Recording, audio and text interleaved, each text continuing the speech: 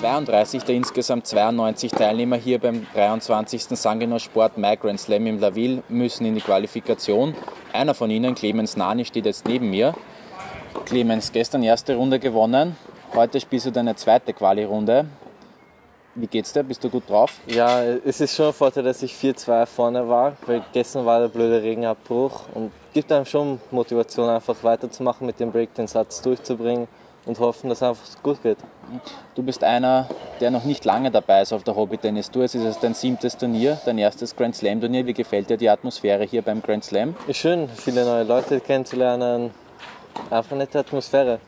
Du hast bis jetzt auch immer nur ähm, Turniere gespielt, die maximal 150er waren. Das ist dein erstes Grand Slam. Erstmals winken dir ähm, Spiele gegen die Top-Leute der Hobby Tennis Tour. Wie geht's dir damit? Man muss sich immer mit den Besten messen, denke ich mal. Weil man zum Beispiel jetzt, ich musste durch die Quali und kriege gleich dann eins gesetzt und das ist auch ein Problem. Da sehe ich gleich, wie weit ich komme.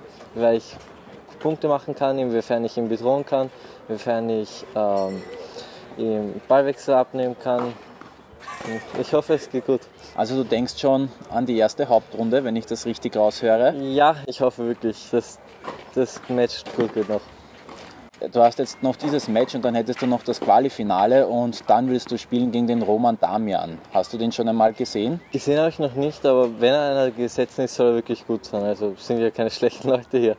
Hm, du bist jetzt auch erst 13, hast also sicher noch Potenzial, dich zu verbessern. Wohin möchtest du einmal?